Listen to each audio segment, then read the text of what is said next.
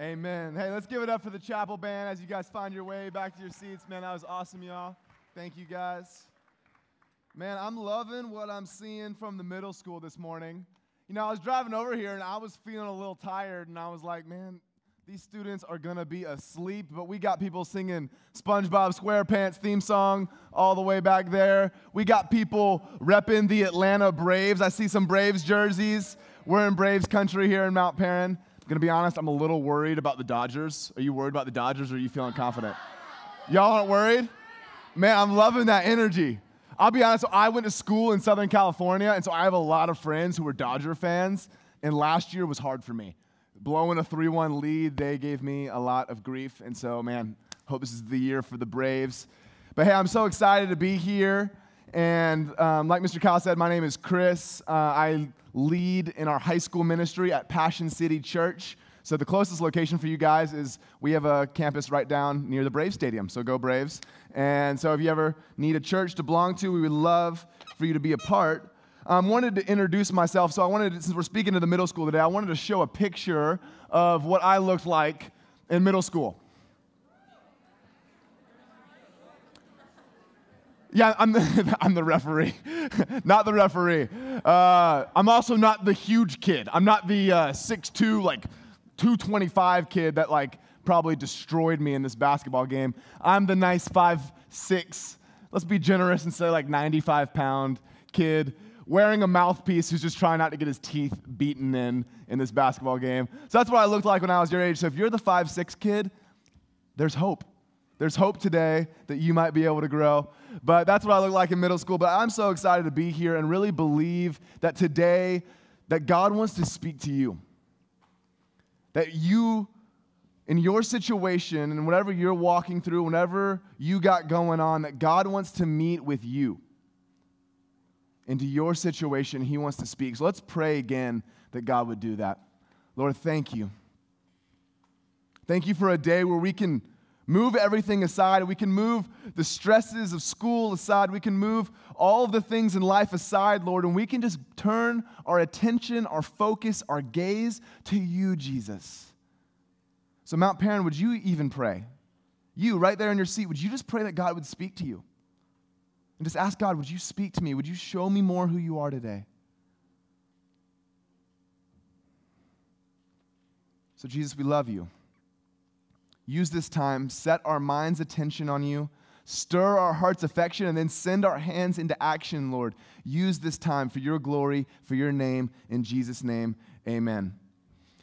So, I want to start by telling a story about one of the worst first dates I've ever had. Yes, a little honesty to start the morning. It was my senior year of high school, and I asked out a girl in my physics class. Um, and I was like, all right, hey, what do you want to do? I came up with this idea. It was like winter time, so I was like, best idea ever. Nothing ro- more romantic than ice skating.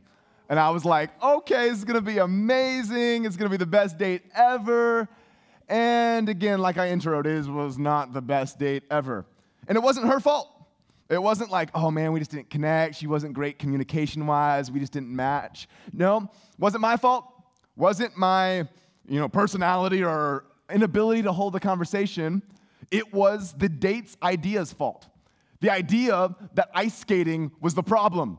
That I had chosen to go ice skating because we were on this date, and the whole time we like couldn't even talk because like I kind of significantly overestimated my ice skating abilities, and apparently she was like grew up doing, doing it. She was amazing at ice skating. So it'd be like every 10 seconds, it'd be like, oh, so how's your family? Ah! And then I would just like eat it.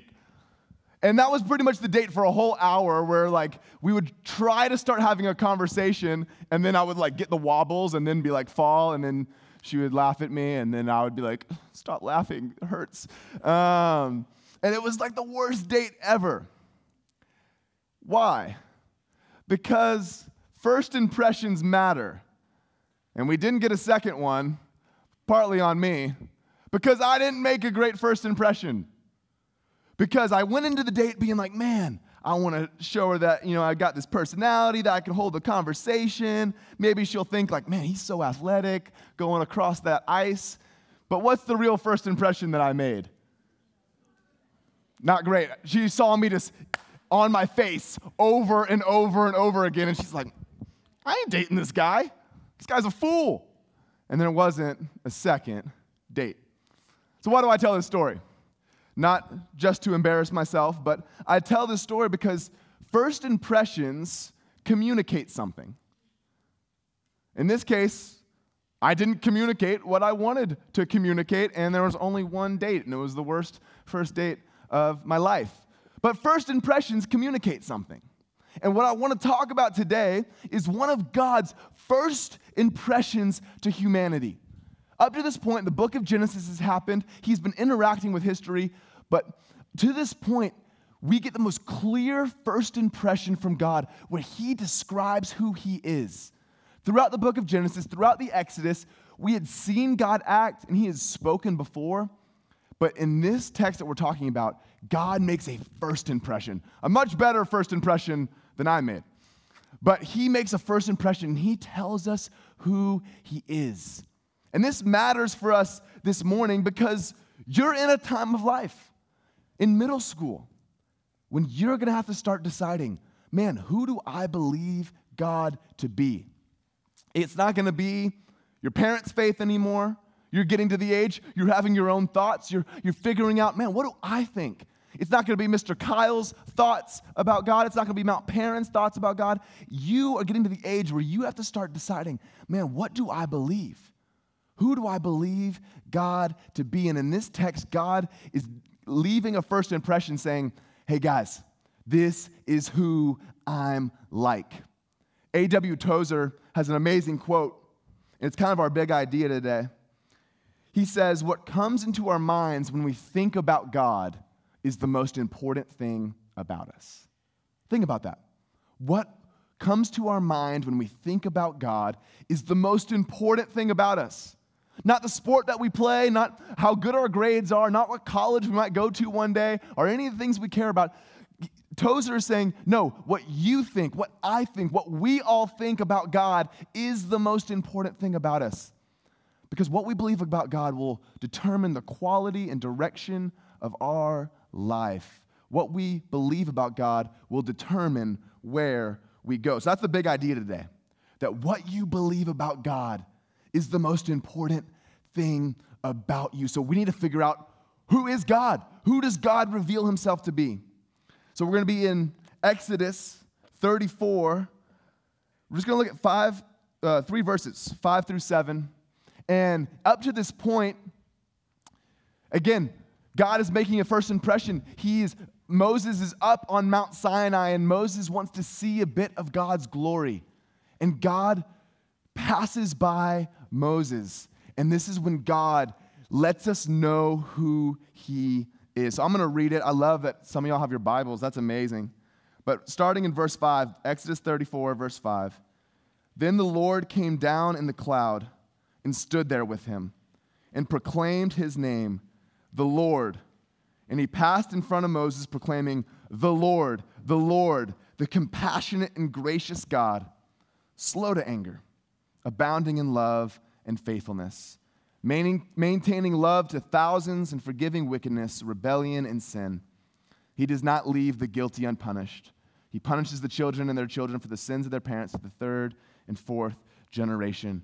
So you see that that's kind of like God's Instagram bio in a sense. Um, maybe y'all don't have Instagram yet, but people will communicate the most important things about them and their priorities in their Instagram bio. Like Oh, I'm a University of Georgia football fan. Oh, I go to Mount Paran Christian School. I play on the football team. I do this. I play volleyball. I do that. And God's like, hey, Moses, I'm going to pass by and let me tell you who I am. Let me tell you the most important things about me. And I think it reveals who God is. And the first thing that we see when God passes by Moses and he says these things is that we see that God is revealing that God is good.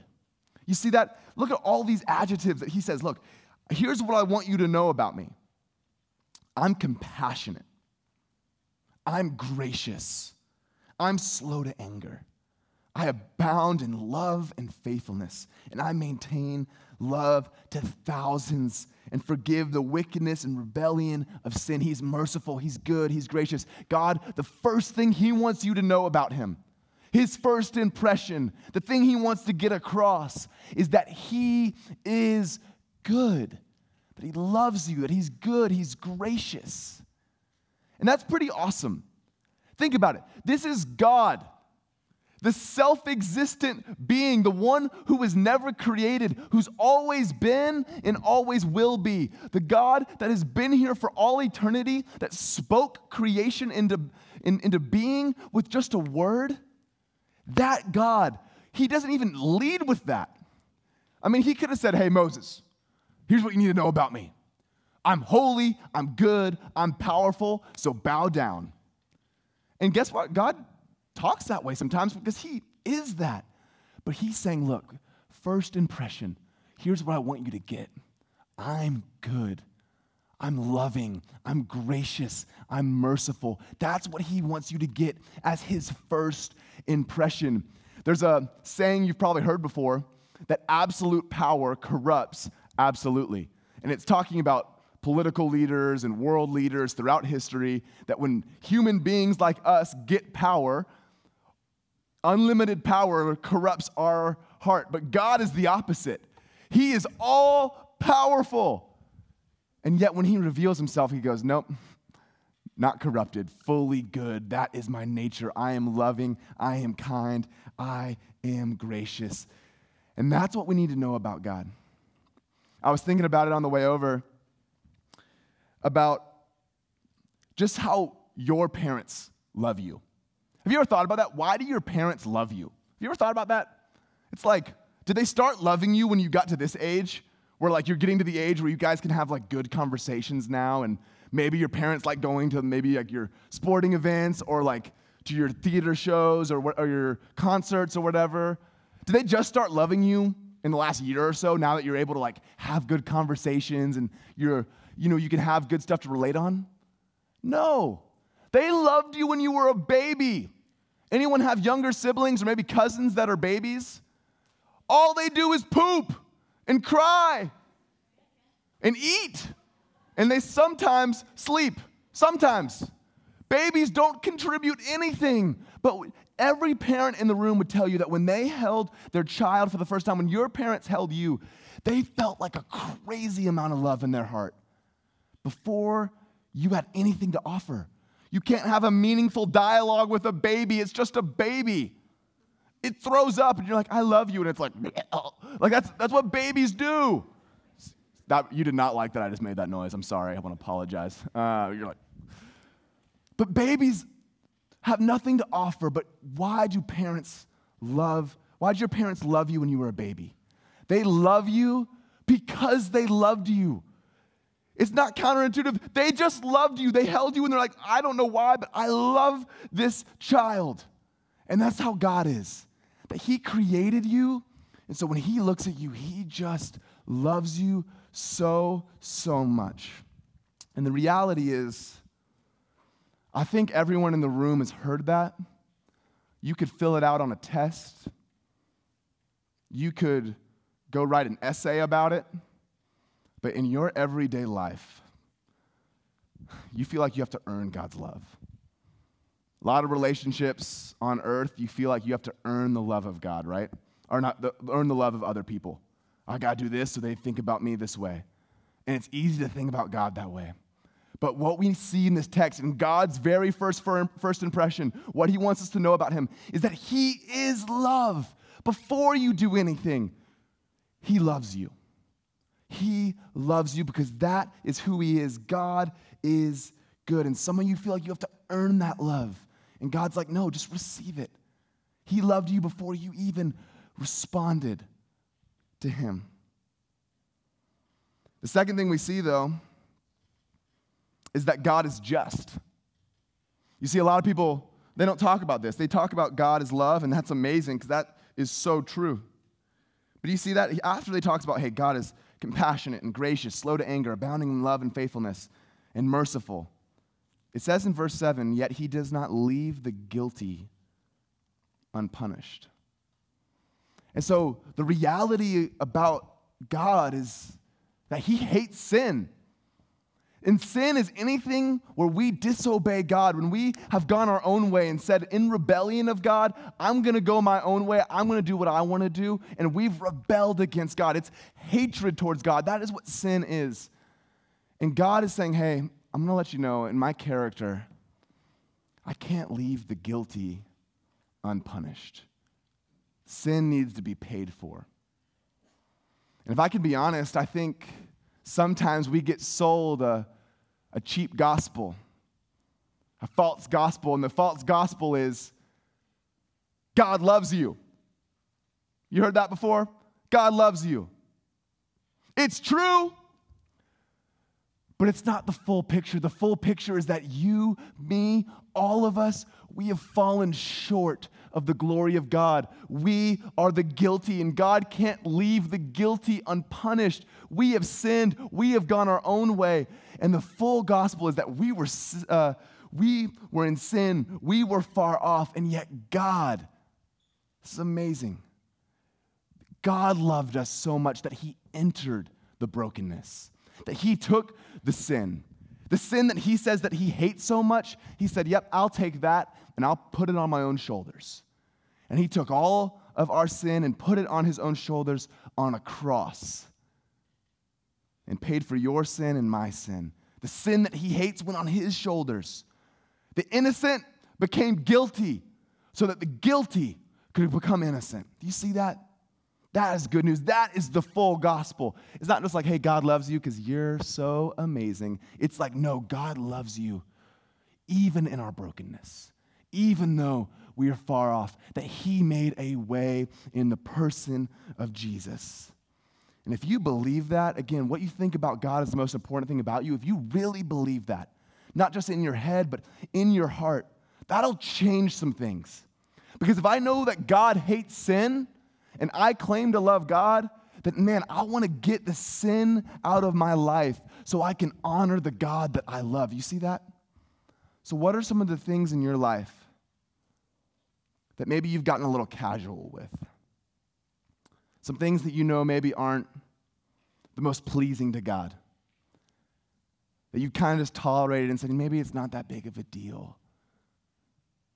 Oh, I prayed that prayer in the sixth grade and I'm saved so I can go do whatever I want. No, God, if we love God, we want to, and He hates sin, and I want to get sin out of my life because I know I want to follow Him.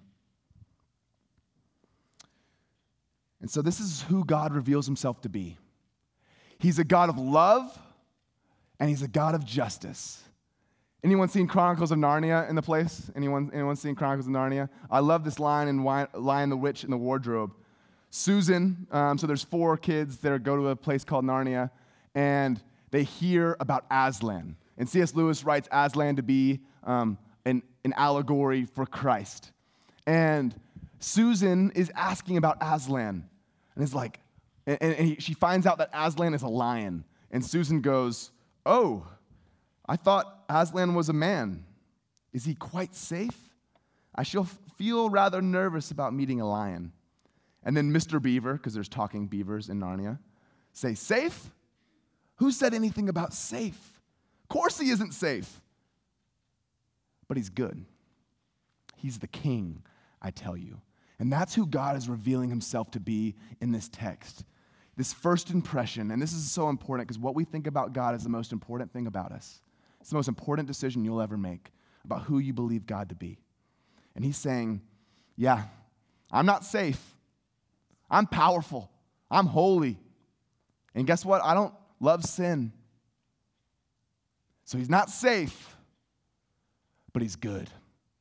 And he loves you, and he cares about you, and maybe you're in the place wondering, like, okay, I know the text says that, but how else can I know that that's true, that, that God is just and God is loving? And I would point us to the cross, where these two things became reality, where God's justice and God's love merged into one. On the cross, Jesus, who is God, took all of the sin on himself. So he kept his justice. The guilty or the, our sin which made us guilty, he said, Hey, I'll pay the price. And he satisfied the justice of God so that he could be merciful and gracious and live up to what he was saying when he says, I maintain love to thousands and I forgive wickedness, rebellion, and sin. The way that he can do that isn't just because he said it right here, but because he showed it on a cross. And he took on all the sin and he died on a cross and then rose three days later to prove that he had paid for all the sin that was on our shoulders. So I'm going to close with this story about how we can know that this is really who God is. There's a movie called The Quiet Place. Has anyone seen The Quiet Place? It's like a middle school movie. Oh, wow, more people than I thought. I'll explain it for those who haven't seen it. It's, I'm not a scary movie guy. I'm not. It's like a thriller, so it's like I was able to watch it. So, like, even if you don't like scary movies, it's like kind of a thriller. There's a monster who uh, is attracted to sound. So, like, if I made any noise, the monster would come and uh, it wouldn't be great for me. I'd probably get killed by the monster. That's the premise of the movie. So most of the population has been wiped out by this scary monster that's attracted to sound. And so there's a family that, is, that are living pretty much in quiet, um, and they, you know, they whisper and stuff so this, the, the monster won't see them. And it gets to the, the climax of the movie, and it's so beautiful. John Krasinski, Jim in The Office, if you watch that show, um, let's go.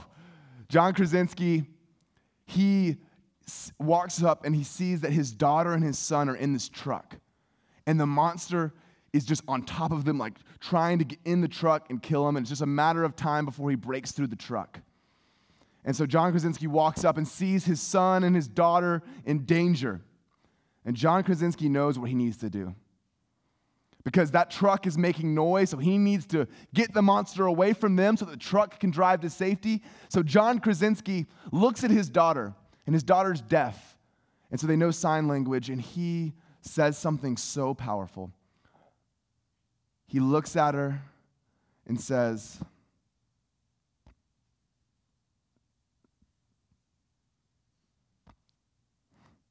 He says, I love you, looking at his daughter. And he says, I have always loved you. And he's looking at his daughter, and his daughter knows what he's about to do. And at that pivotal moment, at the climax of the movie, he lets out a scream. The monster turns to him, and John Krasinski gives his life so that the son and the daughter can drive to safety. And so, my question is do you think that daughter would ever question if God loved her?